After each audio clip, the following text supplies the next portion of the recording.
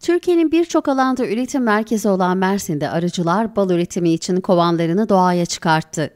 Yaklaşık iki aydır kovanlarını baharın yaşandığı bölgeleri taşıyarak üretime geçen arıcılar hasada hazırlanıyor.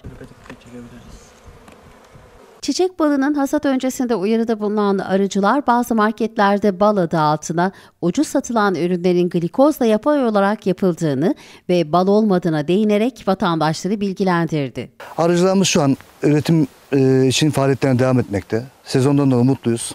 E, ciddi anlamda kanayan yaramız ve üretim şevkimizi kıran e, ve gelecekte bu mesleğin önüne geçebilecek olan ve bu mesleğin arıcılık mesleğinin yok olması tehlikesiyle karşı karşıya kalacağımız bir sorunumuz var.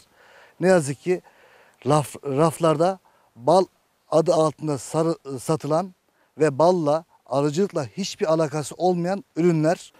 Bunlar e, tamamen hiçbir arı görmeden e, yapay ortamlarda, fabrikalarda karışımlarla e, glikoz diye tabir ettiğimiz ürünlerin içerisine aromatik maddeler konaraktan elde ediliyor.